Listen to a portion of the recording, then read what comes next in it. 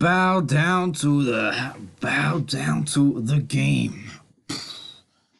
Bottle of water's over there if you want to do a real, a real Triple H impersonation. But yes, guys, we're back with a separate fed on the matter. If you want to check out the Raw review to hear the Raw thoughts on it, Raw thoughts uh, about the new title that Triple H brought out, you can go do that. But here we're going to look at a more like in-depth look, so to speak, um, about it, and also to make a video later. CM Punk returns to the WWE.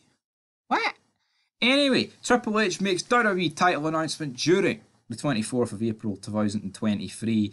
And yeah, it says here Triple H announced that Roman Reigns will remain world champion of whatever brand he is drafted to. The other brand will debut a new world championship, and Triple H revealed the design. With its similar, it's, it, it is similar to the big gold belt, but again, right? So you've got the big gold belt, and I mean, obviously, they're not showing it here, but you, you, hold on, hold on, guys. No need to fear. WWE new world championship. We'll look at it here, so you guys have a look what we're on about. Images. Bang. Look at it. Look at it. Look at it. It's.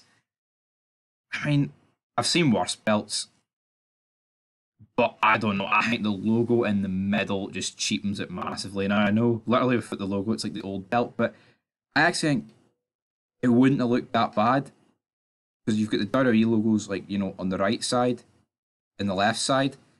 But again, like, what is the fascination of sticking three fucking WWE logos on it? We know what it is. It's WWE, man, right? And but ugh, the, the old gold belt looked great. I don't understand the the obsession with plastering the logos. I don't. Like, is it is that better than this? I kind of like the look of those belts, though. I'm being honest, I, I do. I do like the look of that belt. I feel like with this belt, it would have looked really good without that logo. The logo's just not needed. You've got all these different belts, of course. Um, that's in 2014. I mean, is it better than the Strawberry Jam Universal title that Finn Balor got? Of course it is. Um, but again, it's, it's not exactly spectacular, if we're being honest. But tri- Triple H did go on to reveal it, and basically his justifications behind it was, well, Roman Reigns, you know, he's got both belts, he's approaching a thousand days. A thousand days. Jack, we're safe.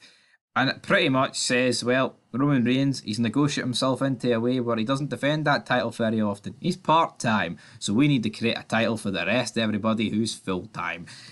And again, I talked about it in the Raw review, but I'll just repeat it again. Like, Roman Reigns, WWE has made Roman Reigns part time. Roman Reigns has not made himself part time. All right, like let's not pretend that Roman Reigns is too big of a star to be full time. No, it's not. That's not the way it works. See, back in the day, man, Austin full time. You got him every week. The Rock was full time before he went to Hollywood. Went seeing in 2002, started becoming part timer, 2003, etc., etc. Then after that course, we know what happened. You make your you, WWE make you part time. All right, WWE make you part time. They are the, the gold sticks, the, the the stakeholders, right? WWE becoming so shit has made Roman Reigns part time. Like Triple H trying to put Roman Reigns over here so much. He's nowhere near the. I don't give a fuck how many days he holds. See, I don't care if Roman Reigns holds this till the day he dies. I don't know how many days that would put it on. Like ten thousand, maybe. Right? We've had like 30 years. It's just nowhere near, right? It is just nowhere near a good run. He does not defend it anywhere near enough to warrant calling him like one of the greatest champions of all time. Length doesn't matter. You know, obviously, if you hold it a day compared to a year, the year run's going to look better. I get that. But come on. Honestly. Like, the reign is just constantly him burying people and getting help for the bloodline. I mean, at least at Mania, what was it, 38? Or was it 30, no, 37? Like when he pinned Bryan and Edge, that was a good image. I liked that. I actually liked the fact he beat both of them, made him look like the fucking man. But in like every match since then, he's needed help, and it's embarrassing. It honestly it is, and he's nowhere near the greatest champion of all time.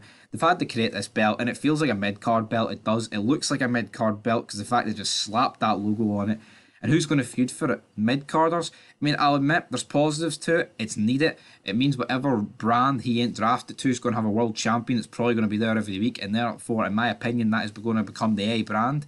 because I just don't see how a brand like how can a brand right? Because obviously he holds both belts, but he is more of a SmackDown guy, for being honest, than a Raw guy. But he does appear on both these days. Well, actually, he doesn't really appear on either.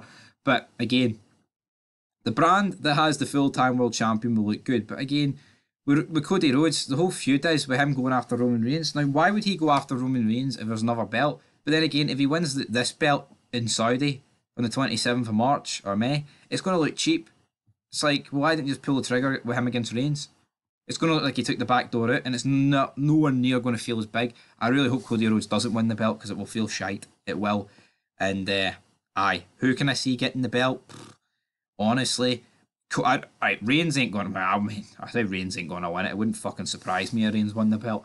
Um, Cody Rhodes ain't going to win it. I could see Brock win it They give it like you know the, the big factor like who the who was the first guy to win it, the, the new World Heavyweight Championship. They could give it to Brock, I guess. But I look at the roster, I'd give it to LA Knight. LA Knight every day of the week for me, guys. But anyway, that is it for this video. Back with some more soon. And until next time, peace. Oh, hell yeah.